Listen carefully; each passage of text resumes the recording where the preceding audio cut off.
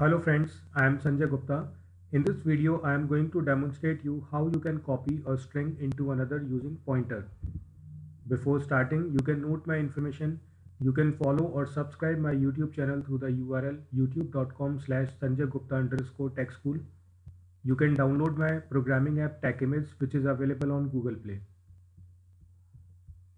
Now I am going to implement solution of this problem so first of all I am including a header file. Then inside main function I am declaring two character arrays. First one is s1 and second one is s2 now two pointers p1 and p2 with the help of printf I am going to display the message. Enter a string on console. To receive input from user I am using gets which will receive the entered value inside s1 with the help of gets function. Now for copying purpose I am assigning addresses of these two character arrays into pointers. So here I have written p1 equals to s1 and p2 equals to s2. p1 p2 are pointers and s1 s2 are character arrays.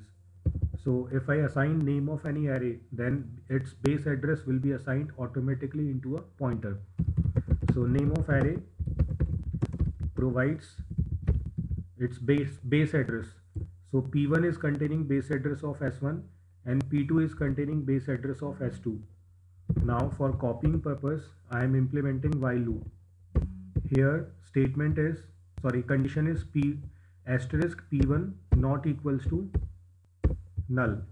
So if this condition is true then only uh, the further statements will be executed otherwise this loop will be terminated. So now for copying operation I am applying asterisk p2 equals to asterisk p1 so through this statement elements of s1 array will be copied into s2 now I am incrementing p1 by 1 and p2 by 1 so this way P1 and P2 will be pointing to the next location uh, which are available in S1 and S2 arrays. So through this while loop, I am copying all the elements of S1 into S2. But here you can see I have used only pointers. So P1 is pointing to S1 array and P2 is pointing to S2 array.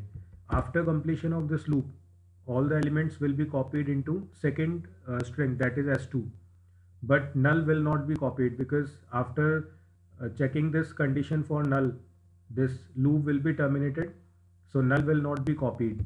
So for that purpose I can write asterisk p2 equals to null. So I am explicitly assigning null into second string.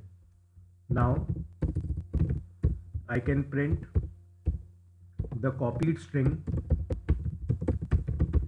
with the help of printf percent %s and s2 so here you can see I am printing the copied string using S2 array. But for copying purpose, I have used only pointers. So whenever we access any array through pointer, pointer can update the elements of that array, whether it can be integer or it can be character array. So now I'm going to execute this code. I'm entering my name in S1 string. You can see the output copied string equals to Sanjay. So whatever I have entered is uh, printed back on console. So I entered the values into S1 and I printed the result through S2. So S1 elements are copied into S2 but you can see it is done with the help of P1 and P2 pointers. So this way I have demonstrated you how you can copy contents of a string into another using pointer. If you want to watch more programming related videos, you can follow or subscribe my YouTube channel through the URL youtube.com slash Sanjay Gupta underscore tech school. You can download my programming app TechImage which is available on Google Play. Thank you for watching this video.